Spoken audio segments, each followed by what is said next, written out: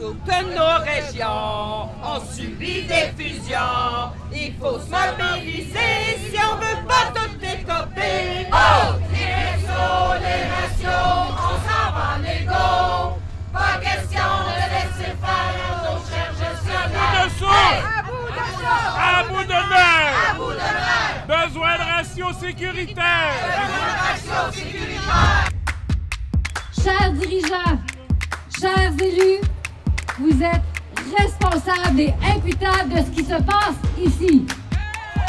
Madame McCann, ministre de la Santé, vous avez plusieurs fois affirmé que la détresse des infirmières et de l'ensemble des professionnels en soins devait cesser et que leur charge de travail devait diminuer. Les professionnels en soins, dont celle de Denis Benjamin Vigé, repoussent tous les jours, toujours plus loin, les limites de leurs conditions de travail. Elles assument, elles, leurs responsabilités et elles dénoncent des situations qui ne leur permettent plus de donner des soins de qualité et sécuritaires.